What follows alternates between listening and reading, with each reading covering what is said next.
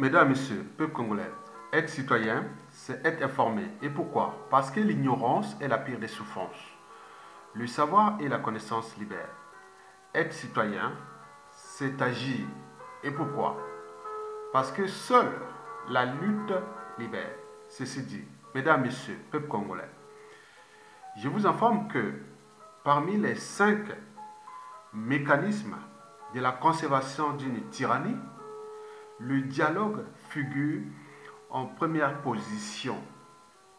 Alors, à quoi sert-il? Il sert, un, à divertir le peuple et à, comploter contre la volonté du peuple au profit du tyran. 2. Il sert de carotte et de bâton envers les vrais résistants. La carotte, c'est pour la corruption. On vous appelle vous corrompre, pour l'achat des consciences. Et le bâton, eh, parce qu'une fois que vous avez trahi vos convictions et votre conscience, le système tyrannique vous rend toujours euh, ce service en monnaie des singes. Et certains sont même parfois empoisonnés.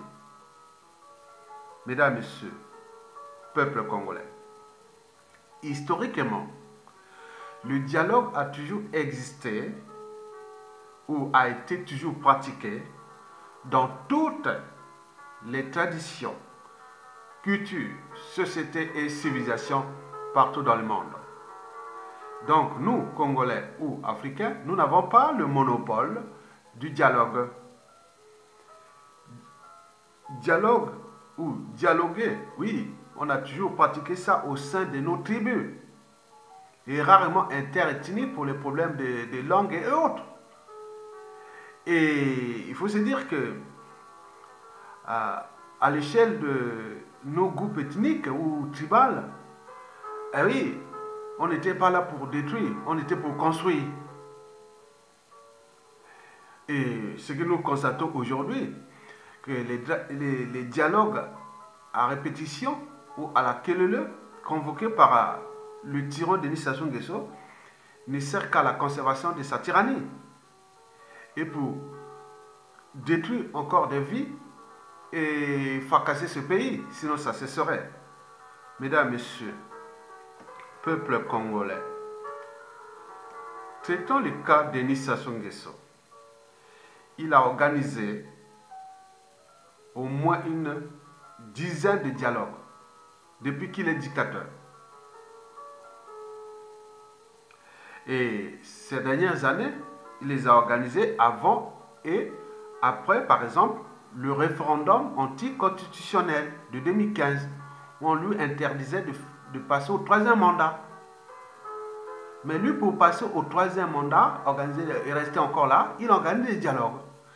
Et après le hold-up électoral de 2016, suivi du terrorisme d'État dans le pôle, là où il est allé massacrer des populations.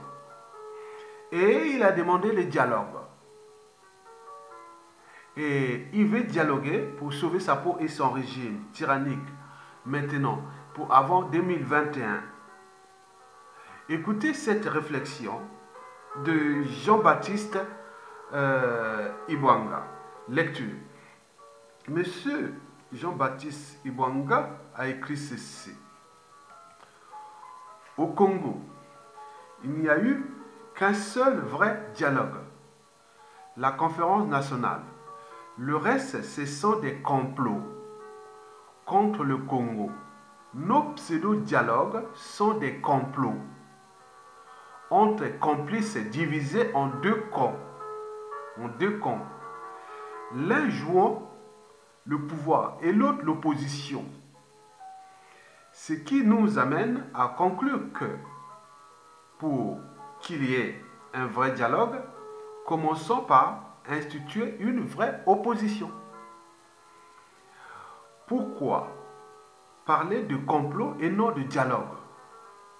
Chez nous, vu que la partie adverse est corrompue avec de l'argent sale, on ne peut parler de dictat. mais juste de complot contre le peuple congolais. Quand deux protagonistes s'entendent d'avance sur les conclusions d'une rencontre, il n'y a pas dialogue, mais conspiration. Ce que l'on veut jouer en public, c'est juste la pièce théâtrale du complot ourdi dans l'ombre. Chers amis, si vous voulez critiquer le seul vrai dialogue qui a eu lieu dans notre pays, attaquer la conférence nationale, en effet, depuis lors, il n'y a plus de dialogue libre et transparent dans notre pays. Sibiti et vous, Brazzaville, Dolisie, n'ont pas été des dialogues, mais des complots. Les participants ayant été en plus corrompus, c'est pour cela que l'intégrité des participants à un dialogue est très est très importante. Se joue sur la corruptibilité des participants pour réussir ces complots. Tu vois qu'une bonne lecture de la réalité éclaire les concepts. On répond souvent des lieux communs sans prendre la peine d'examiner avec rigueur les concepts qu'on utilise. Il ne suffit pas de parler de dialogue pour qu'il y ait eu vrai, vraiment de dialogue. Un dialogue répond à des critères précis. Le dialogue véritable accouche souvent d'une surprise, comme au Cameroun, car personne ne savait, ne sait ce qu'il va en sortir dans la mesure où des compromis sont faits de part et d'autre pour aboutir à un consensus. Les dictats passent par le complot qui lui-même passe par la corruption. À la fin, on reste dans le statu quo, car rien ne change. Denis Sassou Nguesso redoute un vrai dialogue, raison pour laquelle il cherche à le contrôler à travers des complices, ce qui appelle un choix méticuleux, d'esprit pourri, corruptible à souhait. Un dialogue est une, un échange horizontal et non vertical. L'horizontalité est une condition sine du vrai dialogue. Ceux qui dialoguent doivent se mettre au même niveau, ne pas fausser le dialogue. Or, ce n'est pas ce à, quoi on assiste dans notre pays. Mesdames, Messieurs, peuple congolais, ceci dit, je reviens sur, euh, l'information. Alors, pour info, je vous informe que le dialogue de Sassou Nguesso est déjà grillé. Il est avorté. Il va être avorté. Plus rien ne marche entre Sassou Nguesso, en colère, et Martin Berry. Et pourquoi? D'abord, il faut se dire que Martin Berry n'a pas euh, relevé le défi. C'est-à-dire rouler les sudistes dans la farine du dialogue à la con, ou plutôt euh, le dialogue de la conservation de la tyrannie de Sassou Nguesso. Vous avez vu, comme Evo, Sibiti, Dolisie, Brazzaville, bon, ils avaient roulé tous ces sudistes. Pourquoi les sudistes? Parce que les sud, c'est deux tiers de la population, deux tiers de l'économie congolaise, deux, tiers de vie stratégique. Ça soit à diviser ce pays-là en deux parties. Le nord, c'est pour lui, et le sud, c'est pour ses complices, ses pions et autres. Donc, il faut adhérer, il faut adhérer beaucoup plus des sudistes. Eh bien oui. Et donc, l'alchimie euh, du passé n'a pas fonctionné. Et chose étonnante, c'est que les sudistes, et notamment euh, ceux de la diaspora, sont restés soudés contre Martin Berry. On l'appelle le traître, l'homme des coups tordus, contre le poule, contre le pouvoir de Lussuba. Il a une sale image. Il ne fédère pas le Sud. Les sudistes majoritaires dans la diaspora euh, sont restés soudés contre la diasporie. La diasporie, c'est-à-dire tous ces pourriers vendus qui sont de la diaspora, hein, ils vivent ici en Occident. Ils voient comment les jeunes, tout le monde lutte pour la liberté, la dignité, la démocratie, euh, la justice, le but de la condition humaine. Et bon.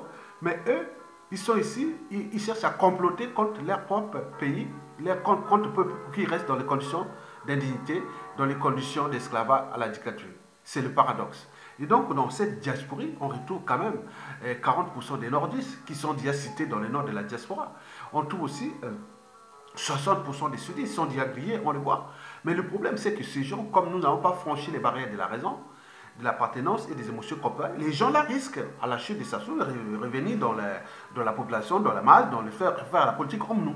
Alors qu'ailleurs dans le monde, des gens comme de la diaspora qui ont été grillés, il faut dire non, Ebola, je suis pas là pour... On n'est pas amis, hein, donc, ou même si on est amis, non, au niveau des principes de conviction, non merci. Mais les gens ne sont pas là pour faire ça. Donc nous, nous avons déjà identifié. Ces gens-là, je peux les voir, ils sont des amis sur Facebook, ils sont. Mais moi, personnellement, c'est des gens que je ne pourrais pas euh, ni aller manger chez lui autre. C'est des problèmes de principe, chacun ses principes. Donc vous avez ces gens-là qui ont détruit la diaspora. Ils voulaient aller euh, au dialogue de Sassou Nguesso, comme nous avons expliqué déjà. Il faut dire aussi que c'est tout ce monde-là, qu'il soit du nord au sud, et oui, qui sont de la diaspora, ce sont des mutilés d'esprit. Et je vous donnerai la définition d'un mutilé d'esprit ou des mutilés d'esprit. Tous ces gens qui sont de la diaspora. Hein, sauf que diaspora, ce n'est pas la diaspora, ils sont tous pourris. Donc, et donc leur tête est pourrie. Et donc, les diasporis là que nous avions déjà identifiés nous posent vraiment des soucis ici. Bien sûr qu'ils étaient en dormance, beaucoup sont sortis, sont grillés, on les connaît maintenant.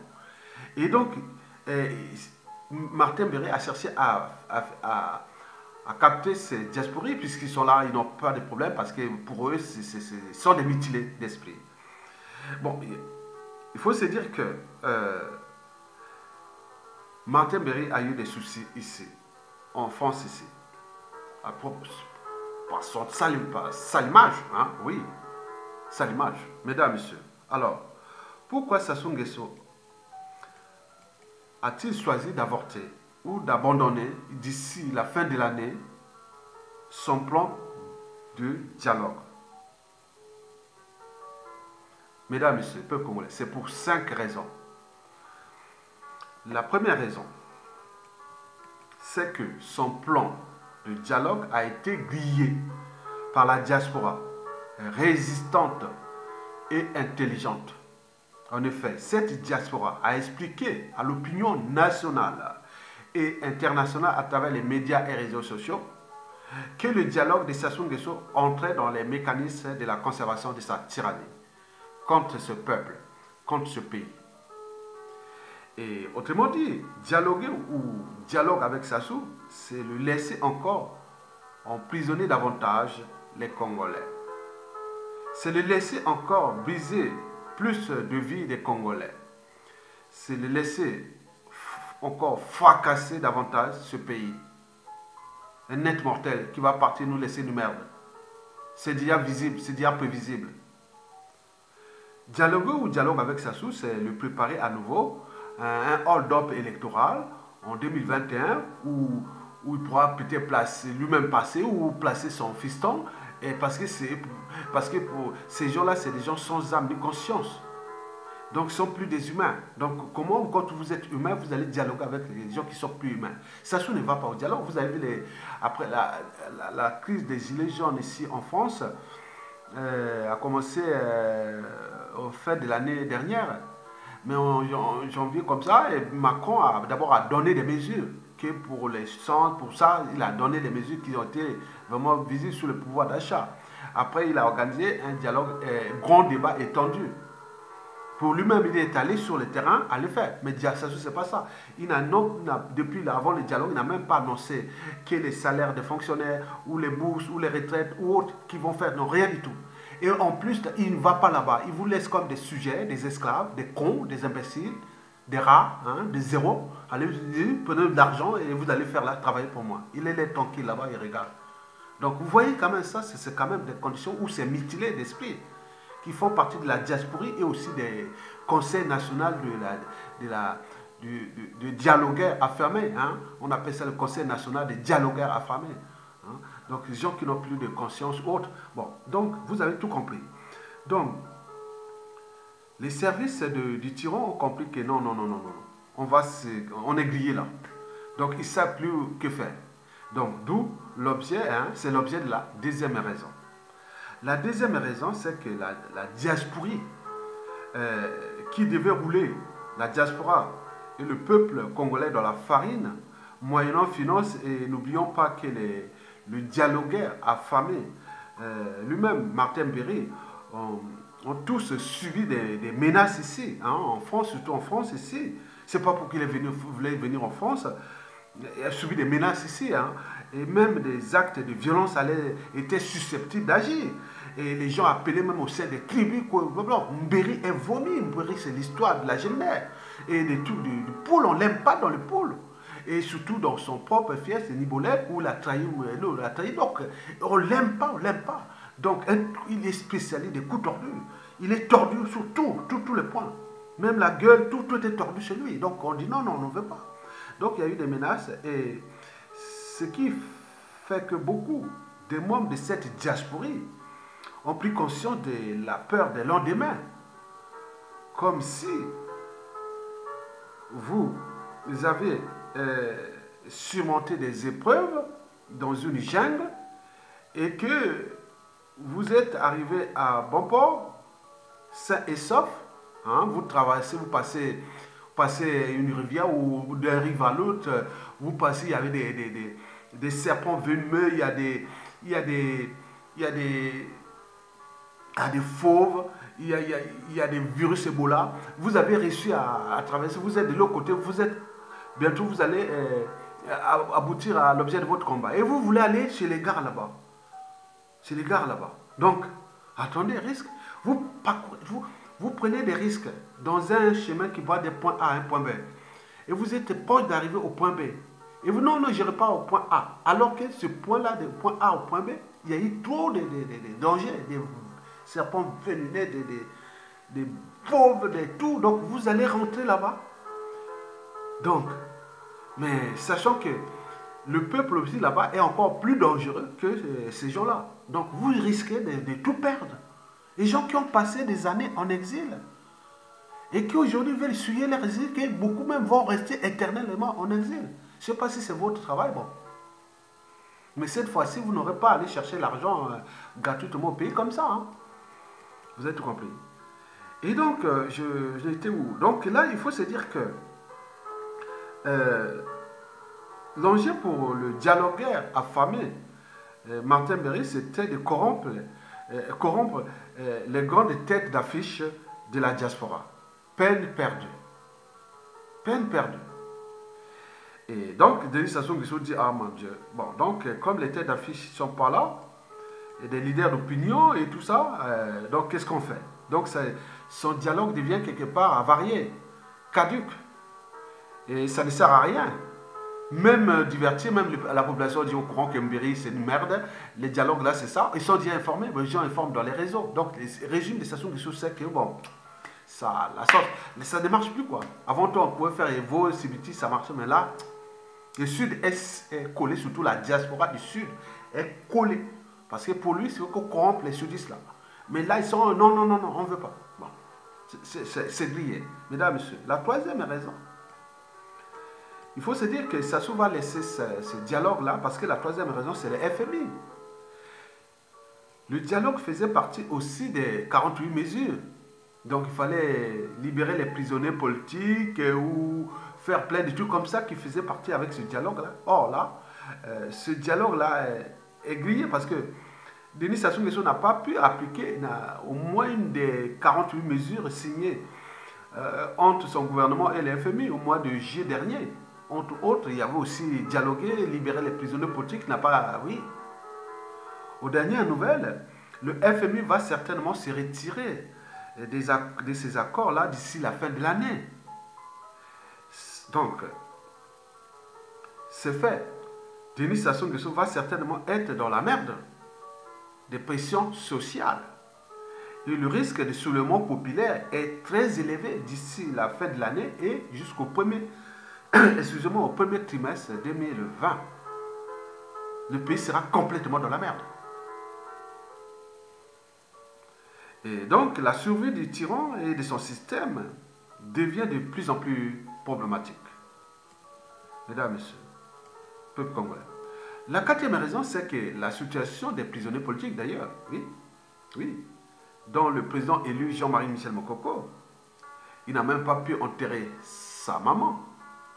Et donc, euh, et la demande même de Jean-Yves Drian et de Macron a demandé à libérer Mokoko, même euh, Nguesso joue un peu euh, au, au Rambo contre son employeur et autres. Je ne sais pas si c'était jeu de rôle, mais euh, double jeu, mais il semble que c'est double jeu. Si c'est un double jeu, il risque de se retourner contre Sassou et aussi contre la France, puisque là-bas, les gens ont perdu.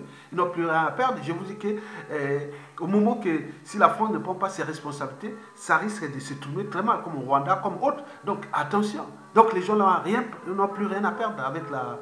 Euh, ils ont tout perdu là-bas. Donc ce jeu-là, est-ce que, bon, ben, il y a une date que Macron a demandé aux autres, à Sassou Nguesso, il négocie pourquoi? Donc on ne sait pas, Sassou fait casse sa tête. Déjà, le, le, mal est consommé, et quand il a fait pour la maman de Moukoko. Et donc il y a la tension là qui est dans, euh, dans l'air, il y a l'électricité dans l'air. Mais en réalité, euh, le dictateur, c'est que, bon, comme l'avait dit Jean-Claude Ngakoso, son ministre de la, des, affaires, euh, de, le lobbying, de la, oui, la diplomatie de la tyrannie. Il a dit que si on libère Mokoko, nous on a perdu le pouvoir. Donc pour eux, c'est un jeu vraiment qu'il a. On dialogue. Est-ce qu'on va dialoguer sans libérer Mokoko ou les prisonniers politiques? Est-ce que donc c'est une casse-tête? Et donc là, personne là. Donc entre eux, le complot, comme disait Jean-Baptiste Ibwanga. Hein, donc, vous, connaissez que donc encore. Donc c'est casse-tête pour eux parce qu'il dit ah tiens, euh, si on libère Mokoko ou les prisonniers, qu'est-ce qu'on donc c'est compliqué pour pour Sassou. Donc le, dialogue là est caduque parce qu'il y a la, problématique des prisonniers politiques qui rentraient aussi dans les accords avec le FMI, mais ça ne marche pas. Donc il va être euh, euh, abandonné par le FMI et se retrouver dans la merde parce qu'il n'a pas diversifié son modèle économique depuis des années. Il est payé dans la merde, les gens vont devenir des rats et autres. Les quelques diasporiers et tous les pourriers vendus vont chercher cet argent et pour détruire le pays et ces gens seront identifiés au moment venu. Vous savez qu'en politique, on rend toujours les traites par la monnaie des singes. Et ceux qui là, ils jouent les jeux parce qu'ils savent que c'est là. Maintenant, au moment que ça se tombe, même dans les tribunes nationales, on va dire, ah tiens, monsieur, point, point, point, la diable, vous étiez un pourri. Et met à la télévision et tout le monde. Et donc, attention, vous jouez un jeu dangereux. Bon, la cinquième raison est que bon, ben, la divergence euh, d'opinion euh, entre les membres du collectif des partis euh, dits de l'opposition, ils sont divisés entre eux. Il y a ceux qui veulent aller dialoguer avec Sassou Nguesso, ceux qui n'en veulent pas. Surtout ceux qui en veulent, ceux qui ont déjà des passifs déjà cachés. Ils ont des mélanges avec Sassou, ou l'ont ramené au pouvoir, ou qui l'ont contribué contre. Ils cherchent à rester avec eux parce que Sassou peut les protéger contre le peuple. Et mais les autres, ils disent on n'a rien à faire, on, on, est rentré là dans le piège, mais on ne veut pas aller dialoguer. Et donc là, ça crée les divisions. Et donc là, ça ne ça, ça colle pas, ça ne colle pas. Donc au cœur de l'enjeu, euh, de, la divergence d'opinion entre les collectifs des partis politiques euh, ou des, des, auxiliaires de la tyrannie qui ont été placés là pour jouer la diversion de l'opposition depuis 2015 à nos jours. Mais ces gens-là, ont, c'est la peur des lendemain.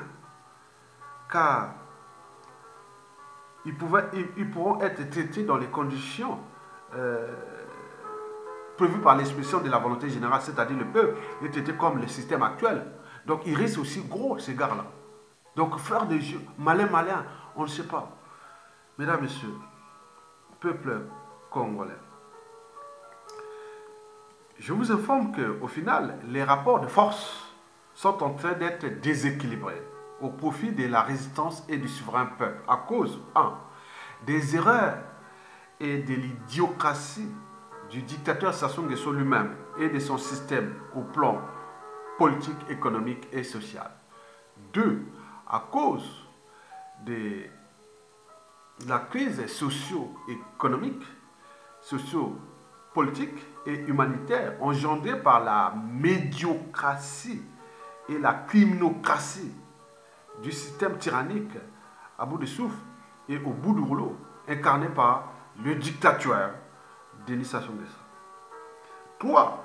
À cause des pressions du FMI et qui risque dans 97% des cas de se retirer des accords avec le gouvernement euh, des incapables de Denis Sassou Nguesso d'ici la fin de l'année. 4.